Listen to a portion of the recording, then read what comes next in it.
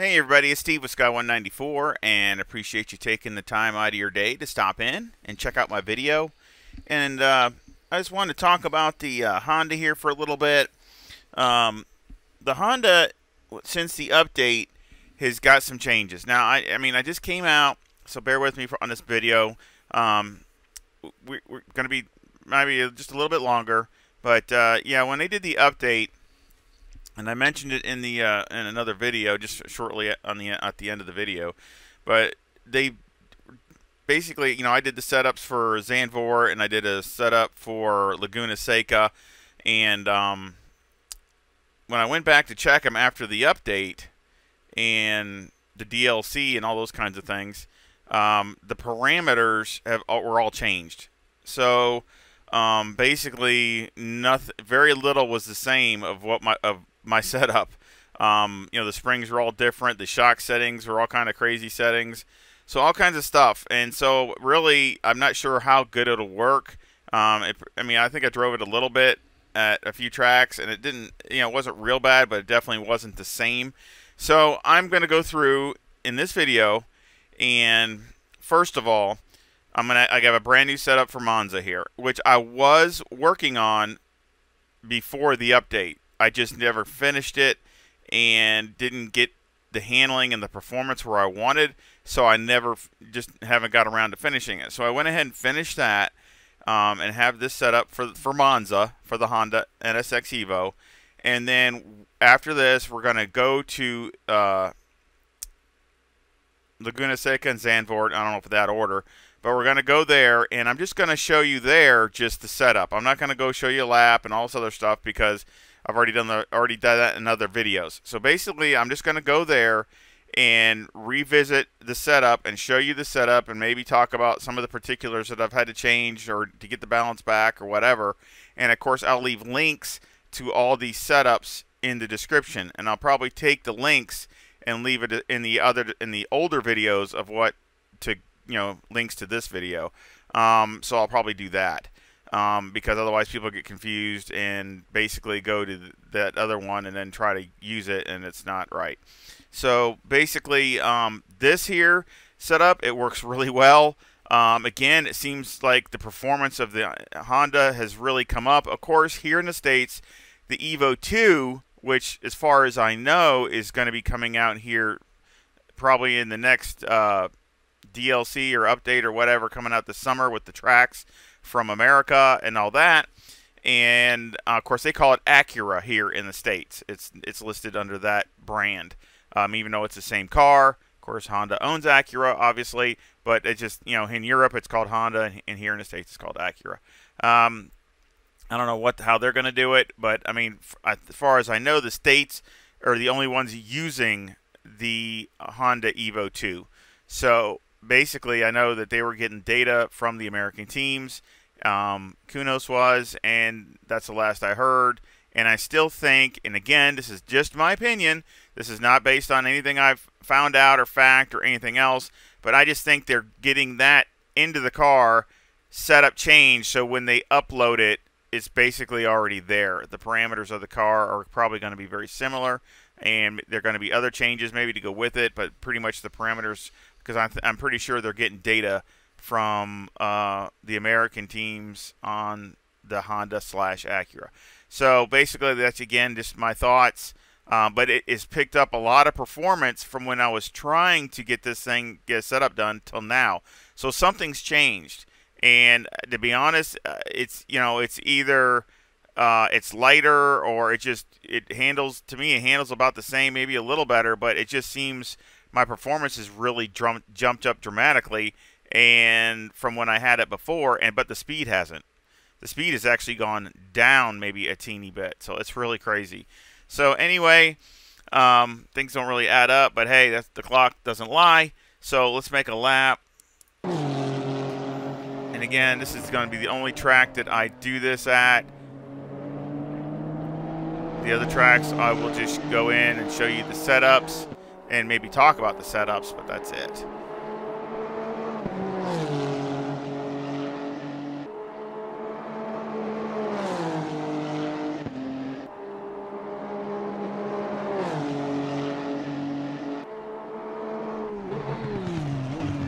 Let's see what the speed was. I wasn't really paying attention, to be honest.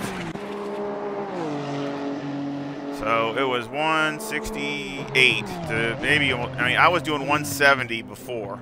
So I've lost a, a mile and a half to two miles an hour from before when I had the other setup. And the wing is more, I had one click more wing before than I do now. So I, I really, I really don't can't put my finger on it. I don't really get that, but it is better on the brakes. So that's maybe where I'm picking it up, and we're going to talk about that in the setup. It's definitely better on the brakes than it was before. So that that might be a big, big uh, increase there.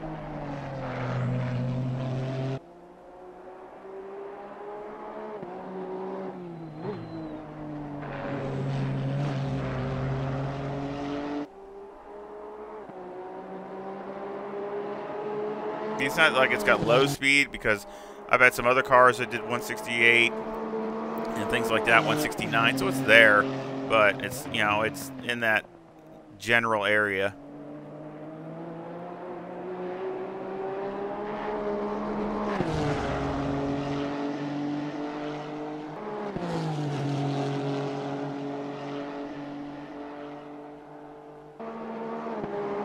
Speed here is about the same, 163.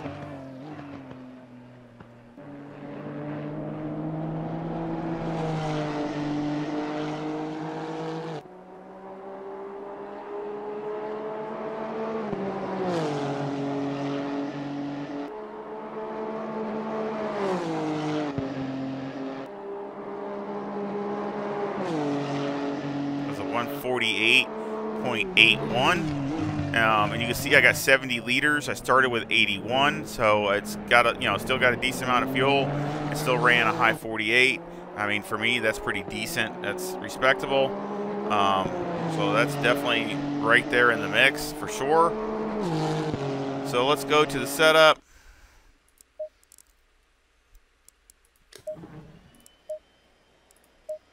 Got 25.2 left front, 25.6 left rear, 26.6 right front, and 26.5 right rear. The toe on the front is negative 0.1, with the camber at negative 3.6 on the left front, negative 3.4 on the right front. The caster is 8.4, and on the rear the toe is negative 0.1, with the camber at negative 3.1 on the left rear and negative 3 on the right rear. And again, all these were different. Caster was all the way down. I mean, uh, all these settings were just all, all changed when I went there to check my uh, to check the setup. I just like, whoa, I didn't have it like this, so it was like totally different. Uh, again, that's three, four, and three for the uh, electronics. Fuel, I had 81 liters. Number one brake pad. Um, mechanical got five on the anti-roll bar, 51 on the brake bias. This is the big difference here that I see between before the update. Steering's all the way down. Springs on the front are 139,880 with a 400 bump stop rate and a 5 bump stop range on the left and a 10 bump stop range on the right. And on the rear, the springs are 197,900 with a bump stop rate of 300 and a bump stop range of 15 on the left rear and 25 on the right rear. Any roll bar is 4 and the preload on the diff is 60. Now on this page, if you remember, uh, if you want to look at that video, when I was at Laguna Seca, I had the uh, brake bias maxed at 50. That's as low as it would go. Now look at it. I mean, it goes all the way down to 44 now. So it, it, it goes way, way, way down. And so you can be a lot more aggressive with the brakes. And it, it uh, I think that's where you pick up some time. The bump stop rates have changed, all these things. And I mean, this thing was all everywhere. I don't even not even remotely close to where I had the setup.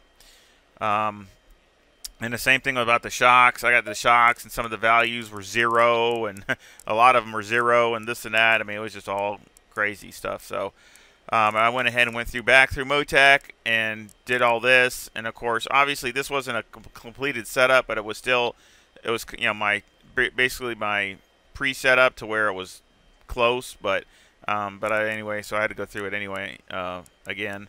So on the front, it's 8172, and on the rear, it's 4158.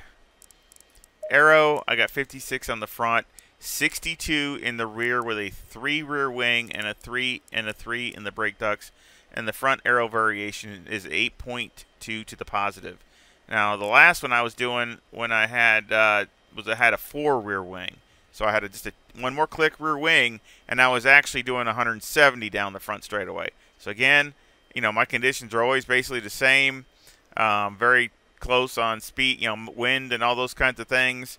And um, so, hey, I, I, I don't really can't really explain it, but that's just the way it was. But I know I picked up a lot because I was struggling to run to run uh, mid 49s before with a with a race fuel load. So, um, you know, I, I really don't have the answers. I just know that certain things. I know that the brakes are definitely better on the brakes. I had to break a little earlier before than I do now. So I know that's helping, but I don't know. I don't think it's that big a difference. But I mean, I know it probably helps some. Um, and in other things, they must have changed something in the weight or something with the car somewhere to get it to where it just basically picked up some time. So good for the Honda uh, people that love the Honda out there. They should be happy with that. And um, of course, we'll go to the next track. And but again, remember in this video, I will basically going to have the revised setups for Laguna Seca and Zandvoort, and uh, of course the links for all three of these will be in the description. So let's go ahead and get to the next place.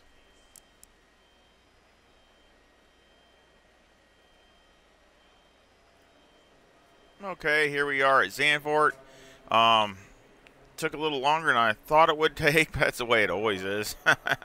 Um, and again, I'm just going to go over the timetables. You see I did about, let's see, what, 26 laps.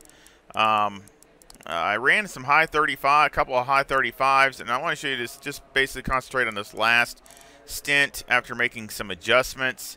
Um, ran a, you know, a 36-0, 35.99, a 36-0, a 36-2, and a 36-0. So, I mean, that's really, really consistent, um, which I'm trying to get better at with the Hondas. You know, sometimes I can get really you know pretty good, but then I'm too inconsistent. So actually, it, this felt like the most consistent. Um, it keeps wanting, you know, wants to get on the TC all the time, and I've tried so many different settings, higher, lower, all kinds of stuff, different diff, and it's just really you got to have some really uh, good throttle input because otherwise it just wants to jump on the TC and start stuttering and all that stuff. So you know you get that turbo hit, and then it just you know you end up just you know losing time. So anyway. Um, as you can see, I had a 3597 up here, but again, you know, I wasn't even, I didn't, I had faster sectors all through here, so I could have been a little bit faster than what that was. But let's go over to setup. Got 23.7 left front, 24.5 left rear, uh, 26.2 right front, and 25.9 right rear. Um, the toe is a negative 0.05 with the camber at negative 3.7 on the left front, negative 3.5 on the right front. The caster is at 8. The toe on the rear is negative 0.1 with the camber at negative 3.3 on the left rear and negative 3.1 on the right rear. And again, uh, a lot of changes here. Um, a little bit more negative camber trying to be little. These, these, left sides, especially the left front here at Zandvoort, just takes an absolute thrashing.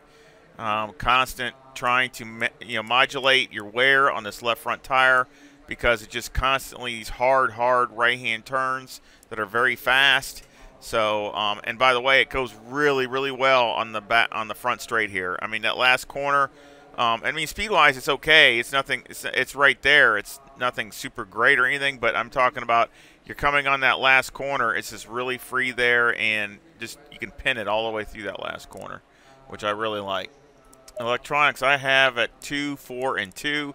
And of course, you might want to knock this up one click if you have no pit stop or you're trying to conserve tires because of the track. You might want to click it up one, trying to set or one or two clicks. I tried even four on both, and it just – I don't know. You just the TC on this I can't get along with. So hey, hopefully the Evo 2. I, I, thought they were coming out with some better uh, traction controls for the Evo 2. So I'm hoping this is one of the areas that they improve upon. Uh, fuel got 81 liters. That's what I ran at. Number one brake pads. It had just normal light graining type stuff. Nothing major. Uh, mechanical got five in the any roll bar. Brake bias is a big difference. I got it at 50, and you can go down to 49. Uh, excuse me. See if it feels really good there. No, no problems at all. Steering's all the way down. Springs on the front are 133,800 with a bump stop rate of 450 and a bump stop range of 3 on the left front and 5 on the right front. On the rear, the springs are 197,900 with a bump stop rate of 300 and a bump stop range of 20 on the left rear and 30 on the right rear. Any roll bar is 4 and the preload on the diff is 60. Um, here I tried a lot of different diff, diff settings trying to help the TC and I, I really there's I don't know I really never found something that I really cared for you know really just, just stood out and really liked a lot but this has the smoothest transition going through these long turns instead of giving getting some mid corner um, understeer type stuff. Um, so again, I just settled for that. I would probably you know something to try. You can maybe try a, a the 50 down one click. Um, or you can try maybe another click of any roll bar up to five, but you know somewhere right around here is really good for a base setup. Shocks, the left front is 7, 8, 10, 7 and the right front is 7997. So, um, and then the left rear is 45910, and the right rear is 5478. And again, that's all being tuned through Motec. Um, trying to, they're you know pretty dang close, so they're pretty close. So I'm kind of happy with the settings. Um, they seem pretty decent, taking the bumps and things like that. Aero got 56 in the front with a 77 rear and a 10 rear wing and a 4 and a 4 in the brake ducts. In the front aero variation is a 6.5 to the positive. Now here, now if you also notice, um, the before the update, I didn't mention this in the Monza, but you see it only goes to 12 now, where I think before it went to 14. So again, um, just another change in the parameters of the setups with the Honda. So again, you got to take that into consideration. But um, I tried less wing. I've tried different ride heights. I've just tried all kinds of different things, trying to see if I could get a balance between the bumps and between aero and between um, that bowl. You know, I, I'm a I don't like going in that bowl and being on the edge and having the thing come around. So, so I, I, think it's super good through there. That's another uh, strong point. You can really attack it through there compared to you know being on your tiptoes and scared it's going to come around on you. So you can really draw, you know be pretty aggressive through there. So again, it's a really driver friendly, um, and I actually beat my pers- my best with the Honda by like six tenths or more. The last time with the other setup, my best was a 136.5. So, and that's a race fuel load type thing. So now, um, basically, you know, with the same race fuel load, I'm running high 35s. So the 36 flat. So a solid six tenths faster. So again, you know, I, I don't know what they did or what's going on with it, but you know, or if that's with all the cars, but it's definitely uh, with me, the Honda has definitely picked up. So that is the setup again for Zandvoort. So we'll move to the next track, which will be Laguna Seca.